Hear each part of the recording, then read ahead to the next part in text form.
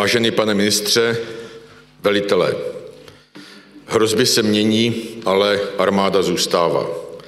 Jsme zase o něco dál, jsme zase o něco silnější.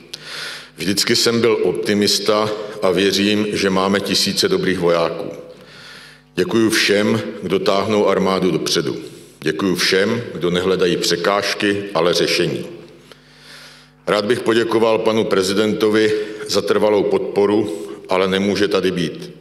Takže mu dál, na dálku přejeme brzké uzdravení. Děkuji i končícímu panu ministrovi, protože se nám společně podařilo rozhýbat armádní zakázky a zase jsme se o kus posunuli. Pevně doufám, že s novou vládou, nám bude také, že s novou vládou budeme také dobře spolupracovat. Naše země to potřebuje. 2% HDP jsou nutností. Oceňuji, že se to objevilo jako jedna z priorit nové koalice.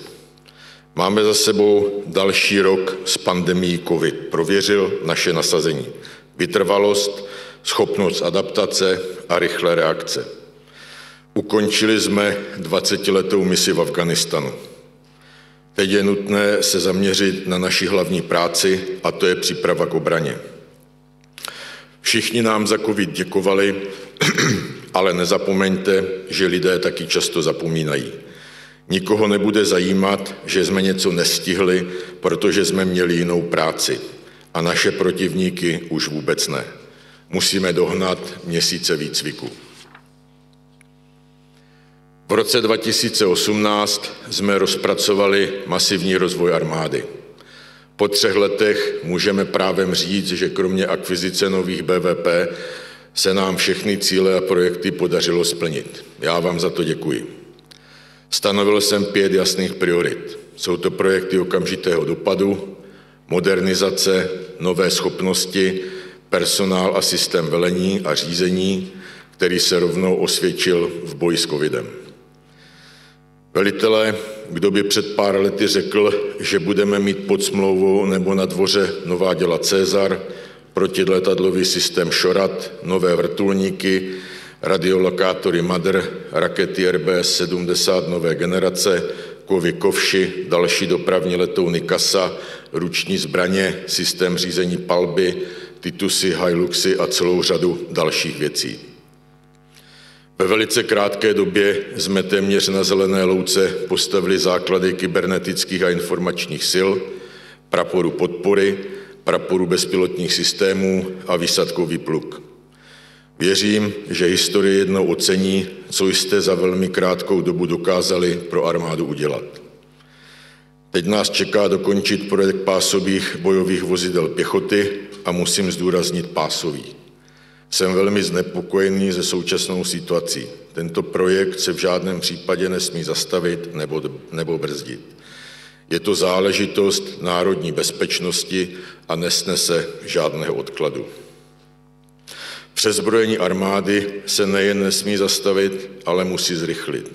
Řešíme bojová vozidla pěchoty, ale za dveřmi jsou další životně důležité projekty, jako je nadzvukové letectvo nebo nové tanky. A to nemluvím o investicích do digitalizace informačních systémů a jejich ochraně. Modernizace je nevyhnutelná a svět kolem nás nám to ukazuje každý den. Velitelé, teď se dostávám k tomu hlavnímu. Považuji za zcela zásadní, abychom se naučili přemýšlet za horizont. Nemůžeme se spokojit s tím, že jednou za čas vyměníme za starou techniku za novou. Nepotřebujeme jenom železo. Naše budoucnost spočívá v technologiích, umělé inteligenci, bezpilotních prostředcích, laserem naváděné munici a v robotizaci. Pokud tento trend podceníme nebo vyhodnotíme špatně, naše armáda bude stará, i když bude jezdit v nových autech. Zároveň technologie sami o sobě žádnou válku nevyhrají. Vidíte sami, že se stírají hranice mezi mírem a konfliktem, mezi politikou a vojenstvím, mezi tím, co je strategické a taktické, mezi tím, co je kinetické a nekinetické. Známá poučka říká, že zásadní povaha války se nemění, protože vždycky zahrnuje střed vůlí a ozbrojené násilí. Významné změny ve vedení války jsou často spojeny s převratnými technologiemi a technologickými inovacemi. Nové technologie a schopnosti už se dnes překlopily z říše fantazie do reality. Co jsme před pár lety viděli ve sci-fi filmu, dnes sledujeme na operačním briefingu. Všichni známe ten vývoj od kopí přes střelný prach, tanky až k dnešním kybernetickým systémům. Ale už víte, co bude následovat? Připravujete se na to? Strašně nerad slyším ironické poznámky, že se připravujeme na války minulé, protože musíme začít myslet, mluvit a jednat jinak. Je to náš úkol. Jedině tak můžeme dávat politikům relevantní vojenská doporučení. Dejte šanci nové generaci, mladým vojákům a studentům ze škol. Pro ně jsou technologie denní chleba, vyrostli v tom a oni budou v budoucnu ovládat robotické zbraně a systémy. Neposlouchejte amatéry. Jednou nám radí, že když má dělo krátký dostřel, tak s ním můžeme 10 kilometrů popojet. Jindy má nám radí, že když nemáme eh, peníze na pásová bojová vozidla pěchoty, tak ať koupíme kolová. Na to opravdu není ve vojenském výboru na to nikdo zvědavý. Nemůžeme ztratit ani vteřinu našeho času. Pro nás jsou klíčové no, nové dokumenty NATO, Warfighting Capstone Concept a Deterrence and Defense of Euro-Atlantic eh, Area. Ty mluví jasně. Přesně popisují hrozby a priority výstavby obraných schopností. Aliance se po desetiletí věnovala operacím nízké intenzity a krátkým krizím. Pozor, nastává změna. Teď bude přemýšlet a plánovat dlouhodobě. Co to pro nás znamená? Musíme zapomenout na lineární a binární. Musíme myslet v paralelním multidoménovém kontextu. Bojový prostor bude více rozměrný, protože je nutné propojit tradiční domény s těmi virtuálními. Jinými slovy, musíme se umět pohybovat v informačním a kybernetickém prostoru stejně suverénně jako na zemi nebo ve vzduchu. Nezískáme předvahu nad žádným protivníkem, když nebudeme mít sladěnou strategii ve všech operačních oblastech. Připomínám také alianční koncepci první linie odstrašení a obrany. Proto jsme plánovali cvičení odolné Česko a proto jsme ho tak pojmenovali. Pokud nechceme být černý pasažér evropské bezpečnosti, nezbývá, než posílit připravenost, mít schopnost reagovat a přispívat k vojenské a technologické převaze NATO. NATO vyhlásilo válku vlastní pasivitě a já se přidávám.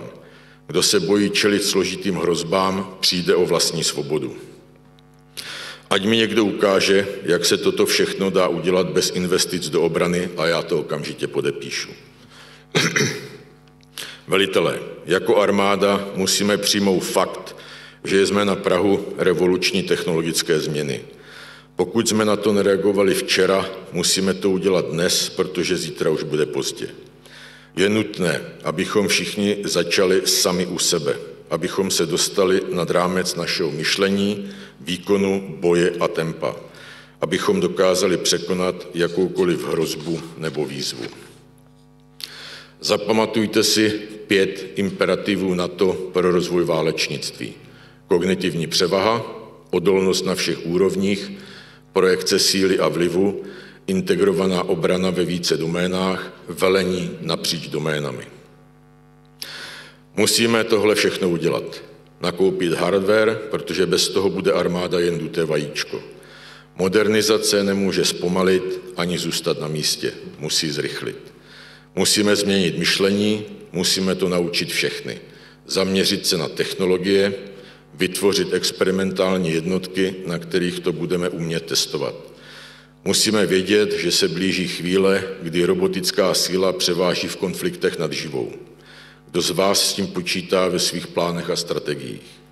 Musíme na tom začít makat hned teď. Až bude potřeba, musíme to předvést v jedné sladěné akci. Když to neuděláme, prohrajeme a to nikdo nemá rád. Děkuji za pozornost.